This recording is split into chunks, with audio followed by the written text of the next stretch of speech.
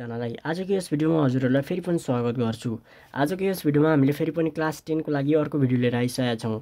जहाँ चाहिँ हामीले क्लास टेनको कम्पलसरी म्याथमेटिक्समा रहेर चाहिँ हामीले सेक्वेन्सियन सिरिज स्टार्ट गर्दै थियौँ र स्टार्ट गर्दै गर्दाखेरि हामीले भनौँ न मिन्सहरूको बारेमा हामीले कुरा डिस्कस गरि पनि सक्यौँ एक्सर्साइज पनि सकि नै हाल्यौँ। अब त्यस पछाडि अर्को हाम्रो सब हाम्रो भनौँ न अर्कै सब टपिक रहेको थियो अथवा सब युनिट रहेको थियो जुन चाहिँ सम अफ एरिथमेटिक सिरिज थियो। जुन चाहिँ सम अफ एरिथमेटिक सिरिज पनि हामीले इन्ट्रोडक्सन पनि गरिसक्यौँ अलिअलि एक्सर्साइज पनि गर्दै थियौँ। र गर्दै गर्दाखेरि आज हामी क्वेसन नम्बर सेभेनमा छौँ। ठिक छ। अब क्वेसन नम्बर सेभेनले अब हामी के भनौँ अथवा सेभेनदेखि यता के हो कसो हो जो तपाईँहरूलाई गर्ने भनौँ न टिप्सहरू अथवा कसरी गर्ने त्यो कुराहरू हामी यहाँ देखाउने नै छौँ। सो अब तपाईँहरूले यो भिडियो चाहिँ ढिलाइ नगरिकन भनौँ न अब सुरुदेखि चाहिँ अन्तिमसम्म हेर्नु होला किनकि एकदम राम्ररी बुझ्नको लागि। एकचोटि हेरेपछि यो म हन्ड्रेड पर्सेन्ट ग्यारेन्टी नै दिन्छु तपाईँहरूले हन्ड्रेड पर्सेन्ट बुझ्नु नै हुन्छ। सो अब म ढिला नहेरिकन क्वेसन नम्बर सेभेनतर्फ लाग्छु र क्वेसनहरू स्क्रिनमा पनि देख्न सक्नुहुन्छ तपाईँहरूले। ठिक छ? अब त्यसो भए क्वेसन नम्बर सेभेनले भनौँ। ठिक छ? अब हामी क्वेसन नम्बर सेभेनसम्म चाहिँ हामी अस्ति नै पुगेर थियौँ र आजको यो पार्टमा चाहिँ हामी क्वेसन नम्बर सेभेन एक्ज्याक्टली सेभेनमा पुगेका छौँ भने अब सेभेनको सेभेनको क्वेसनले के भन्छ भन्दाखेरि यहाँ सेभेन नम्बरले भनौँ एन्थस्ट्रम भनौँ न एन्थस्ट्रम अथवा भनौँ nth term of an APs APs भनेको के हो त भन्दाखेरि एरिथमेटिक प्रोग्रेसन्स एरिथमेटिक प्रोग्रेसन्सको चाहिँ के छ त भन्दाखेरि एन्स्ट्रम चाहिँ के दिएको रहेछ त भन्दाखेरि दिएको रहेछ नि त। ए एरिथमेटिक्स प्रोग्रेसनको चाहिँ के छ त? एन्स्ट्रमहरू दिएको छ। यहाँनिर एपिएस हुँदा झु नझुकिनु किनकि एरिथमेटिक प्रोग्रेसनहरूको चाहिँ के दिएको रहेछ त भन्दाखेरि एन्स्ट्रम। किनकि यहाँनिर त एन्स्ट्रम दिएको छ नि त दुईवटा एउटा मात्रै दिएको थियो भने एपी मात्रै लेखिदिन्थ्यो तर यहाँ दुईवटा छ नि त वानभन्दा धेर छ भने त प्लुलर फर्म लाउनु पऱ्यो नि त। सो त्यही त्यति नै हो। जहाँ चाहिँ क्वेसन नम्बर आई यो जुन यसको लागि म गरिदिन्छु र यसको लागि चाहिँ तपाईँहरू आफै गर्नुहोला। जहाँ चाहिँ क्वेसनहरू आई होस् अथवा आइआई होस् सेभेनको लागि एउटै क्वेसनहरू हो। ठिक छ? मैले के भन्दै एउटै क्वेसन यो टिएन हो यो एएन भनेको पनि टिएन नै हो है। ठिक छ यसमा कन्फ्युजन नहोस् जस्ट रिप्रो रिप्रेजेन्टेसन मात्रै हो। यहाँ एन्थस्ट्रमलाई रिप्रेजेन्ट गर्छ यसले पनि यसले पनि एन्थस्ट्रमलाई रिप्रेजेन्ट गर्छ। जस्तै टी वान थाहा पाउनु पऱ्यो भने यसको केसमा फर्मुला यसको लागि चाहिँ के छ त formula two N plus one two one जा टू प्लस वान भनेको थ्री हुन्छ टी वान भनेको यसमा। यसै यसमा चाहिँ टी वान भनेको चाहिँ कति हुन्छ? डाइरेक्ट सेभेन्टिन हुन्छ। हो यो एन्थस्ट्रमहरू हो दुइटा एरिथमेटिक प्रोग्रेसनहरूको चाहिँ एन्थ एन्थस्ट्रमहरू चाहिँ दिएको छ। यति मात्रै बुझ्दिने हो। ठिक छ अब अब हामी चाहिँ आई नम्बरको लागि गर्छौँ। आइआईको लागि पनि तपाईँहरूले सेम यही क्वेसन हो तपाईँहरूले सेम यही तरिकाले गर्ने हो। ठिक छ अब आई नम्बरको एले भन्यो टिएन चाहिँ यसले डिफाइन गरिदिएको छ। टिएन चाहिँ कसरी डिफाइन भएको छ भन्दाखेरि T N is equals to two N plus one भनेर डिफाइन गरिदिएको छ। अब त्यसो भए सब क्वेसनएको लागि हेरौँ के भनेको छ भन्दाखेरि find the arithmetic series arithmetic series having the nth term mention above भन्न खोजेको एन्थस्ट्रम चाहिँ यसले मेन्सन गरिदिएको छ। अब यसको लागि एकचोटि यसले अनि फेरि ए एकचोटि यसको लागि पनि गर्नु पऱ्यो जहाँ चाहिँ म यसको लागि मात्रै गरिदिन्छु भने तपाईँहरू यसको लागि आफै गर्न सक्नुहुन्छ। सो अब ए नम्बरको लागि है यो आई नम्बरको लागि। आइआईको लागि पनि त्यही क्वेसनहरू जहाँ चाहिँ एन्थस्ट्रम मात्रै के छ त भन्दाखेरि फरक छ। डिफाइन गर्ने तरिका फरक छ। कि यो फर्मुला मात्रै फरक छ भन्नु खोजेको है यो दिएको। ठिक छ अब ए नम्बरको के फाइन गर्नुपर्ने छ अरे भन्दाखेरि एरिथमेटिक सिरिज। एरिथमेटिक सिरिज सबैभन्दा सुरुमा यहाँ हेरौँ है ए भनेको ए नम्बरको लागि अब यहाँनिर हेरौँ। Here T N is defined defined by टिएनलाई चाहिँ कसरी डिफाइन गरेको छ भन्दाखेरि T N is equals to two N plus one so so T one is equals to के हुन्छ त भन्दाखेरि two into one plus one is equals to three अब T two is equals to कति हुन्छ त भन्दाखेरि two into two plus one is equals to two two जा four four plus one five अनि T three is equals to कति हुन्छ त two into three plus one is equals two three जा six six plus one seven अब त्यसै गरेर यति नै गरिदिने। यहाँभन्दा धेरै गर्न मन लाग्छ भने गर्ने जति सकिँदैन यो गरेर। किनकि टिएन चाहिँ डिफाइन गरेको छ तर लास्ट टर्म चाहिँ कहाँसम्म हो भन्ने तरिका हामीले अथवा डिफाइन गर्न सकेको छैन भनेपछि ड्यास यस्तो यस्तो अब इन्क्रिजिङ हुँदै जान्छ नि त। हामीलाई इन्फाइनाइट फर्ममा छ नि त यो त। अब भनेपछि अब therefore arithmetic series arithmetic series of given given nth term is अब जहिले पनि हेरौँ है एरिथमेटिक सिरिज भनेको के त? एरिथमेटिक सिरिज कि त प्लस कि त माइनस फर्ममा भएको हो क्या नि त?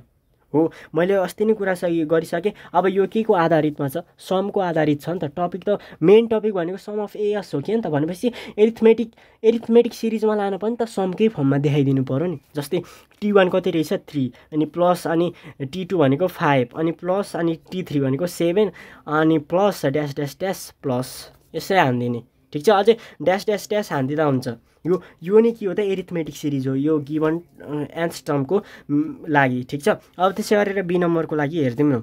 बी नम्बरले भनौँ find the common difference common difference find गर्नको लागि यहाँनिर here from from question number अथवा सब क्वेसन सब क्वेसन मैले लेखिदिएँ from sub question A T one is equals to three T two is equals to कति छ त भन्दाखेरि five their for यो अगाडि नै अलरेडी मेन्सन गरिदिइसकेको छ कि यो एरिथमेटिक प्रोग्रेसनमा छ भनेपछि यति दुइटाको कमन डिफ्रेन्स फाइन गरे पुग्छ यहाँनिर त्यत्रो नसोच्ने अरूमा त कन्सटेन्ट छैन भनेर। यो डिफाइन गरिदिइसकेको छ। भनेपछि त अब therefore D is equals to T two minus T one is equals to five minus three is equals to two भनेपछि कमन डिफ्रेन्स पनि टू रहेछ। अब त्यसै गरेर सब क्वेसन नम्बर सी हामीले कमन डिफ्रेन्स पनि फाइन गऱ्यौँ यो त बुझिहालिन्छ। सी नम्बरमा हेरौँ find the sum of the first twenty five terms of an AP using common difference भन्न खोजेको यहाँ हेरौँ है? यहाँनिर चाहिँ के भन्दै भन्दाखेरि सम फाइन गर्नुपर्ने छ अरे कस्तो भन्दाखेरि twenty first twenty five terms भनेपछि ट्वेन्टी फाइभ टर्म्स भनेपछि number of terms N is equals to कति रहेछ? ट्वेन्टी फाइभ ठिक छ? एन भनेको ट्वेन्टी फाइभ रहेछ। अनि common difference by using common difference भनेको छ भनेपछि कमन डिफ्रेन्स त टू छ। ठिक छ? अनि फर्स्ट टर्म हामीलाई चाहिन्छ A is equals to T one is equals to कति त? थ्री हो। अब त्यसो भए दियर फर सम अफ कति टर्म त? Sum of twenty five terms using common difference is equal to के हुन्छ त भन्दाखेरि एन बाई टू एन भनेको कति त? अब हेरौँ न यहाँ N by two two A plus N minus one times D यो फर्मुला लगाउने जहाँ चाहिँ एनको ठाउँमा कति हुन्छ? ट्वेन्टी फाइभ ट्वेन्टी फाइभ राख्ने एको भ्यालु डीको भ्यालु राख्ने आफै सम आइ नै हाल्छ अनि त्यसै गरेर सी नम्बरको लागि अब त्यसै गरेर डी नम्बरको लागि हेरौँ। Find the sum of the first twenty five terms of an AP using last term last term use गरेर चाहिँ हामीले के गर्नुपर्ने छ भन्दाखेरि सम निकाल्नुपर्ने छ जुन चाहिँ यो यो निकाल्नु अथवा यो निकाल्नु भन्नु एउटै भन्न खोजेको यसको सम र यसको सम चाहिँ एउटै आउँछ।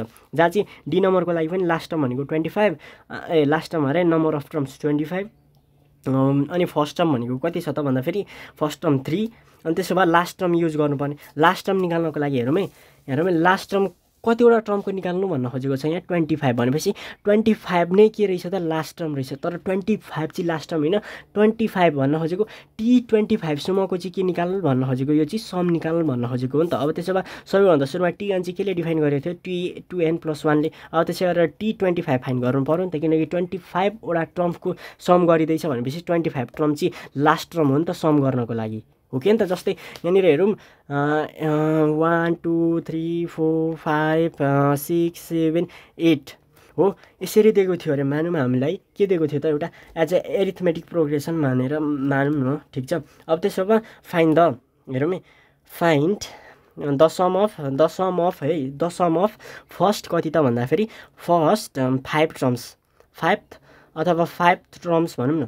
पाँचवटा फर्स्ट फाइभ टर्म्सको चाहिँ सम निकाल भन्नु भने के हुन्छ त? First one two three four five यहाँसम्म जाइन्छ भनेपछि फर्स्ट यो भन्नु नै के हो त? फिफ्थ टर्म भन्नु क्या? अब जस्तै यो पनि बुझिँदैन। यो त यहाँनिर फाइभ छ। यो फाइभ त बुझिहाल्यो नि हामीले भन्ने हुन्छ नि त। अब two four six eight ten eleven यो टर्ममा हेरौँ सम फर्स्ट फाइभ टर्म भनेको कति त? फाइभ टर्म भन्न खोजेको। फिफ्थ टर्मसम्मको चाहिँ के निकाल भन्न खोजेको? यहाँनिर सम निकाल भन्न खोजेको। अब सम निकाल्न फिफ्थ टर्म भनेको फिफ्थ टर्म भनेको यहाँनिर केले डिफाइन गरिरहेको छ अथवा फिफ्थ टर्म चाहिँ फिफ्थ टर्म भन्नु नै के हो त लास्ट टर्म हो। तर फिफ्थ टर्म यो फाइभ नै लास्ट टर्म होइन तर फिफ्थ टर्ममा चाहिँ पर्ने के हो त भन्दाखेरि लास्ट टर्म हो जस्तै वान टू थ्री फोर यो चाहिँ के रहेछ त? यो दिएको एकर्डिङ टु यसले डिफाइन गरेको एस फाइभसम्म निकाल भन्न खोजेको यसको लागि चाहिँ लास्ट टर्म के रहेछ त? एट रहेछ। अब त्यस्तै भने जस्तै यहाँ पनि एउटा सिक्वेन्स त गएको गएकै छ तर यहाँदेखि वानदेखि होला ट्वेन्टी फाइभसम्म अनि त्यहाँदेखि गएको गई छ हन्ड्रेडसम्मै गएको छ मानिदिउँ अब यहाँनिर चाहिँ हामीले ट्वेन्टी फाइभ ट्रमको चाहिँ ट्रमसम्मको चाहिँ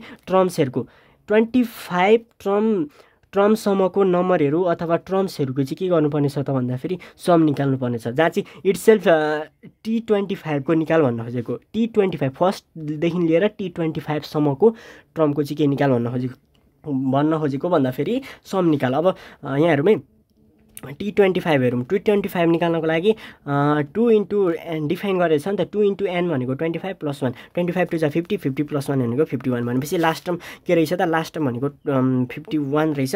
त्यसो भए अब लास्ट टर्म युज गरेर चाहिँ सम निकाल्ने फर्मुला एस अनि कतिवटाको ट्वेन्टी फाइभकै निकालिँदैछ नि त भनेपछि n by n by two अनि के हुन्छ त भन्दाखेरि ए प्लस एल यो फर्मुला युज गर्नु आफै आइहाल्छ जहाँ चाहिँ एनको ठाउँमा ट्वेन्टी फाइभ एको ठाउँमा फर्स्ट टर्म एलको ठाउँमा लास्ट टर्म अनि टू त टू छँदैछ ठिक छ? अब त्यसै गरेर हामी अर्को क्वेसनमा मुभ हौँ है त।